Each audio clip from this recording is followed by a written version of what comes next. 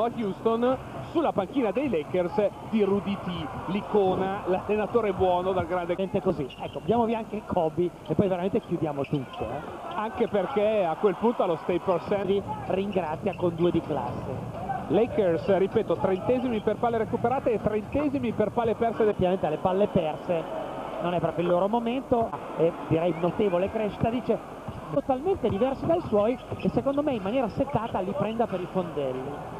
Assolutamente, e poi anche come Grant un po' di overload, eh, se non volete chiamarlo triangolo per i Lakers, eh, poi l'avventura di Butler, il rimbalzo di Jones e ancora una volta Molto ingenuo perché abbassa il braccio, se voi notate, lo fa scendere dall'alto verso il basso e l'arbitro non può non fischiare.